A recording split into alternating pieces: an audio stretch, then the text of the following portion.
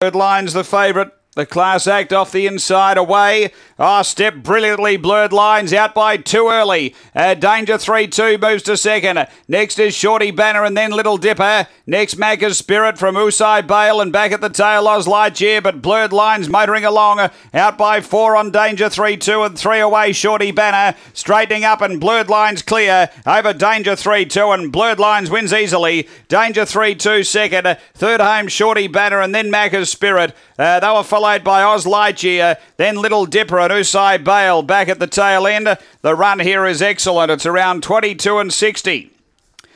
Blurred Lines, number one. Never any doubt with him today. He'd only had the one run for an unplaced over the short here. That was when he ran fourth behind Top Gun McBain two back.